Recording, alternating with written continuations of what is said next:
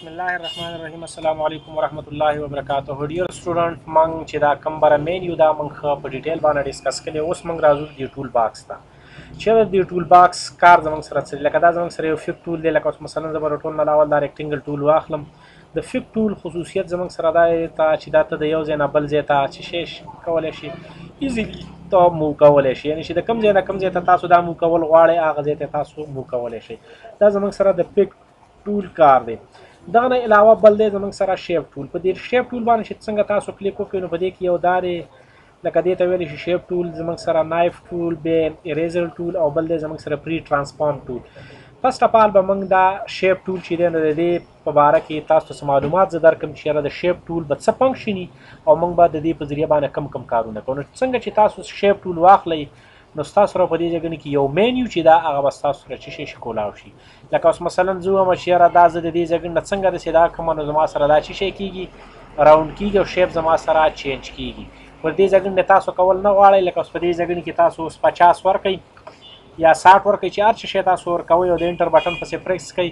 نو خود به خود به څلور وانه طرفونو ته دا چې شي دا به یو قسم لا راوند شیف شي خو کوس پرس کته وی چې زه صرف او صرف دا یو ګوټ راوند کول غواړم او دا نور ګټونه دي زما سره راوند نه نو په دې ځګنی باندې تاسو خیالو کې دلته لیکلې ده دا لاک راوند کارنر ټوګیدر په دې باندې تاسو کلیک وکړئ دا لاک بس تاسو سره شي شي دا بر سره اوفن شي نو چې څنګه لاک تاسو سره اوفن شي اوس بس ما سره صرف او صرف چې څنګه تاسو سره دلته کلیک وکړئ بیا با راشي په دې ځګنی باندې به کلیک وکړئ او دلته به ورکړئ چالیس او دا به انټر کړئ نو ګوره دا یو ګوټې زما سره شیشه شو دغه شو بیا اوس وی چې دا بریم زه کول غواړم دلته زه ورکم چیرې زما سره دا 80% شي بیا انټر کانو 80% به زما سره دا شي اوس وی چې دا لاندې زه کول نه غواړم او دا بره چې دی نو دا مزید په دې کې نور چینجز کول غواړم دا هم دراسه 80% شي نو دغه رنګ تاسو دا کولای شئ چې یاره تاسو ردی دا شیپ چې شي کوي هغه چینج کوي اوس که دې ځای کې هم ته اسی شي ورکوه د انټر بټن اپسې پریس کړه دې طرف ته به هم اسی شي بیا دلته اسی ورکړه د انټر بټن اپسې و دلته به هم پریس شي خو چې څنګه تاسو دا لاک بیرته دوباره بند کړئ نو اوس به په یو ځل باندې ټوټلی ای ټو زیډ چې څومره دي هغه ټوټلی به ستاسو سره په یو ځل باندې چې شي کېږي کېږي لکه اوس مثلا دلته زه اسی ورکوم نو دا چې کله ما دا لاک بند کو بیرته دا مې لاک کو نو به زما سره په یو ځل به زما سره څلور وانه ګټونه چې شي هغه به را سره راون شي یعنی اسی دلته هم رالی دلته هم رالی دلته هم رالی او دلته هم رالی نو دا زمونږ سره د شیپ ټول څه شی شو هغه فنکشن شو یو فنکشن دویم فنکشن یې زمونږ سره دا دي چې څنګه تاسو دا شیپ ټول واخلئ نو په دې ځګنې کې دا د دلته لیکلې دی کنورټ ټو کارو کنټرول کیو په ذریعہ باندې هم کیږي چې په دې کلیک وکړئ دې ځنم کیږي لکه مثلا زه هم چیرې د کنټرول کیو ز پریس کوم چې کله کنټرول کې او تاسو پرس کړئ نو دا مینیو چې دا نو هغه تاسو ته چې شي شروع واوښتله اوس مثلا زه وایم چې یاره دا په دې ځګنی باندې با د رائټ بټن پریس ونیسم او دا بخکته چې شي کومه ډرای کومه اوس دې نه زه یو شیپ جوړول غواړم شیپ چې څنګه جوړول غواړم چې یاره یو نیو شیپ زما سره چې شي هغه را سره جوړ شي بیا زه رالم په دې ځګنی باندې مې ډبل کلیک وکړو او دا مې ښکته چې شي کو راوستم یعنی شو کو تاسو په دې ځګنی باندې کلیک وکړئ نو دې ځګن لکه دې ځګنی باندې دې کلیک وکړو او بیا راشي په دې پلس باندې کلیک وکړه اوس په دې ځګنی کې تاسو چینجز کولای شئ کو دې ځګنی نه تاسو کول نه غواړئ نو په دې ځګنی باندې تاسو جست ډبل کلیک وکړئ پورته چې شي کوي ډرای کوي بیا په دې ځګنی باندې ډبل کلیک وکړئ او دا چې شي کوي دا دې طرف ته ډرای کوي بیا په دې ځګنی باندې رائټ کلیک به وکړئ یا په دې ځګنی باندې به تاسو کلیک وکړئ سوري کنټرول زیډو لاول بدل ته کلیک وکړئ بیا به راشي دې کار وته کو په دغه ځګنی باندې تاسو کول نه غواړئ نو په دې ځګنی باندې تاسو رائټ کلیک وکړئ او دلته لیکلې دی چې کنو ټو کارو په دې باندې به کلیک وکړئ دا به بهر طرف ته تاسو چې شي کوي دسی ډرګ کوي نو تاسو سره یو قسم لا پر راوند شیپ کې یو ډیزاین چې دی هغه چې شی شو تیار شو دې زه کلر ورکوم پرس کړی دا اوس ته چې زه د دې یو ډوپلیکیټ کاپی جوړه کم نو په کیبورډ کې به تاسو د شپ بټن پریس ونیسئ او دا به دننه طرف ته چې شی کوي دا به د سی ډریک کوي چې څنګه تاسو ډریک لا نو بیا په ماوس کې به تا د لیفت ساید بټن هم پریس نیولی